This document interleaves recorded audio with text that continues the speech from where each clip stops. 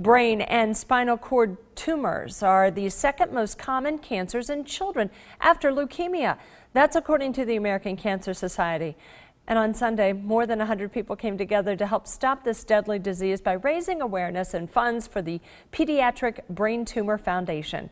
Christine Karsten shows us how this foundation saves lives. Whose broad stripes and bright stars when I was 15, I was diagnosed.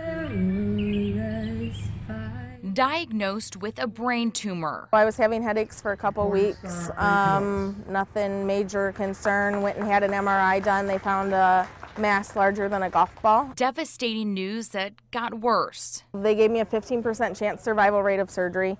As a parent, and I'm an ex-old football player and all that. I was helpless. I, uh, the big tough dad, couldn't do anything about it. Stories like these are the reason more than 100 riders showed up at Pinhook Park in South Bend Sunday to participate in the Northern Indiana Ride for Kids, a 50 mile ride aimed at raising awareness and funds for the Pediatric Brain Tumor Foundation and give these kids who are fighting brain tumors a day of fun. We have to find a cure for these kids. These kids, once they have a brain tumor, they live with it forever. MRIs every six months, they never know when it's going to come back. Two days after Libby was diagnosed, she went into surgery. 14 hours later, they told her that, that she probably wouldn't recognize us. She possibly could be blind, uh, memory loss, just all kinds of different things. And she came out of, when she came awake, she goes, Where's my mom and dad? A simple question that brought on a feeling that was simply indescribable.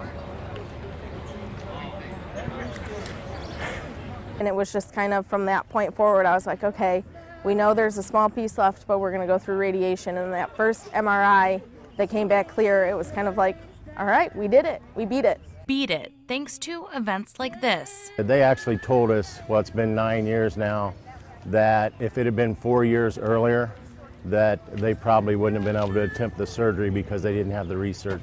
Events like this that raise funds making that research possible.